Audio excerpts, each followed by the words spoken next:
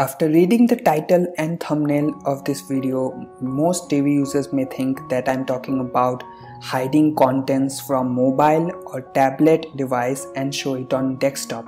I mean the visibility settings.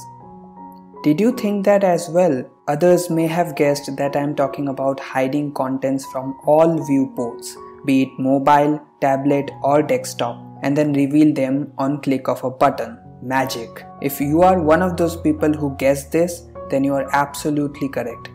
Except that it's not magic, it's CSS and JavaScript science. Now, don't get intimidated. I'm not here to scare away the non techies. You will get step by step instructions on where to not only copy paste the codes but also how to tweak the code if you want to hide and reveal multiple contents in a page.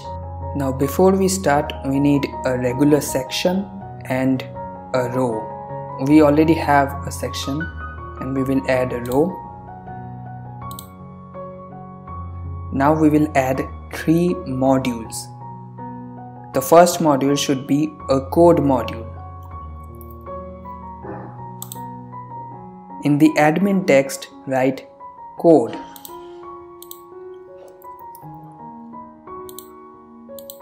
The second module should be a button module.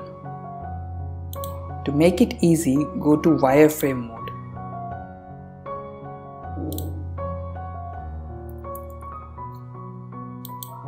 Again, in the admin text, write button.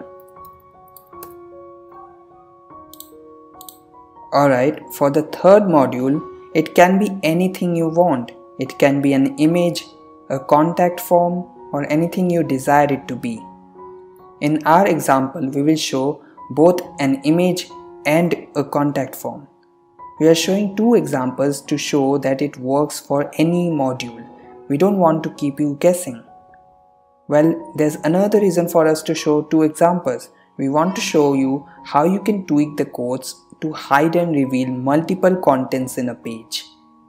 So let's add the third module and in our first example, we will add an image.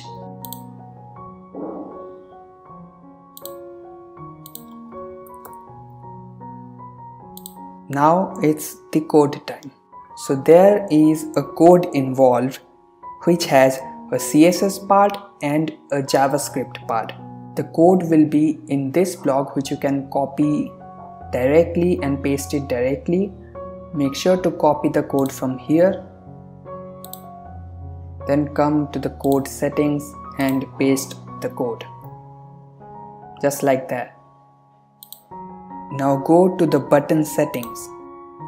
Then click on advanced tab. Here you will add a css class. For the first example of the image we will add rv button closed. Again this is something which you can copy from the blog post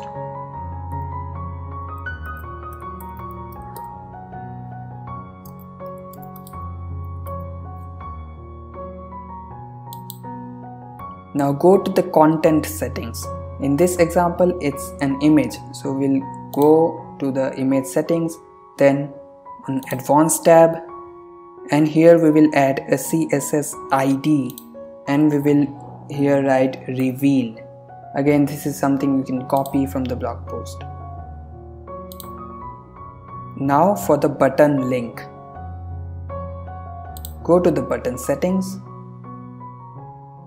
to the link and type in hashtag reveal.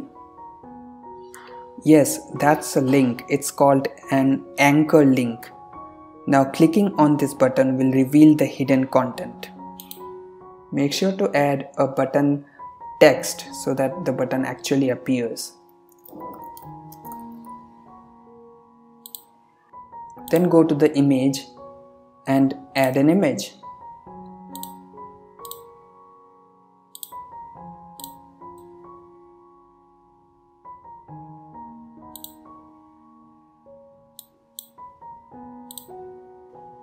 Now save and exit the visual builder.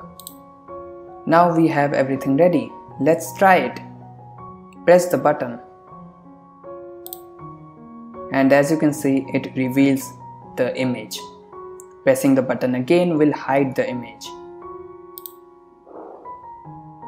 Voila it's done.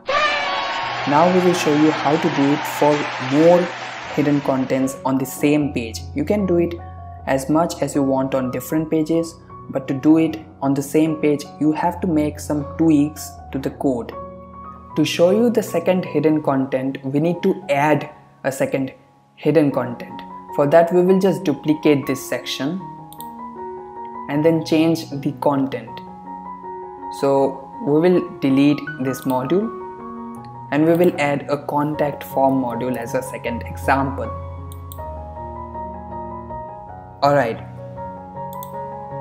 So all we have to do is add the number 2 follow me.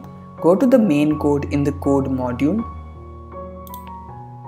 Here look at the css part and add the number 2 after the .rv button. Do that here as well. Now go to the javascript part and do the same. And then here.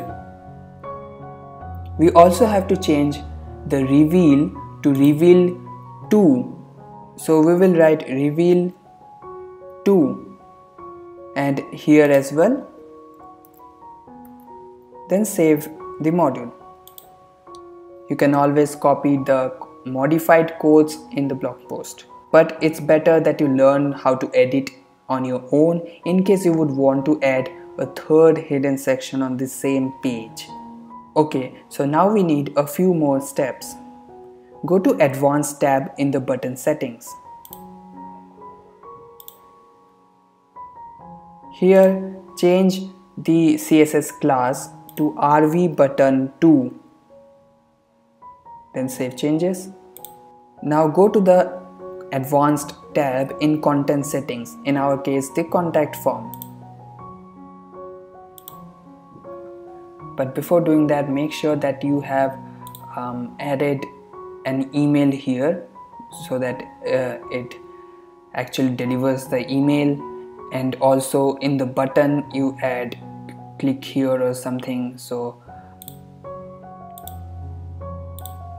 so here I've added subscribe to our newsletter thanks and subscribe in the button text. So make sure you do all of those. Make sure to uh, make sure that the contact form is visible in the visual builder.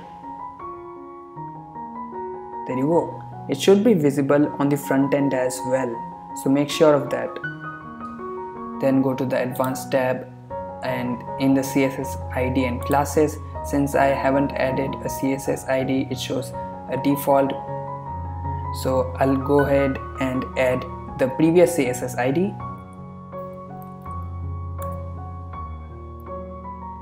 but uh, obviously since it's duplicated meaning this is the second content not the image so we have to add 2 here. Underscore 2 again this is something that you can copy from the blog post. And then save changes. Last step go to the content tab in the button settings and change the url of the button. Here we will add reveal 2 like this. Save changes. And it should be done so press save and then exit the visual builder. Well now let's test it. And there you go. It works. The first one and the second one. And it also scrolls down to the content which is amazing. Well, I hope you liked this video. And if you did, then why not give me the blue thumbs up and be part of the red button gang. While you are at it, ring the ding dong bell so I can catch you later in the next video. Bye bye.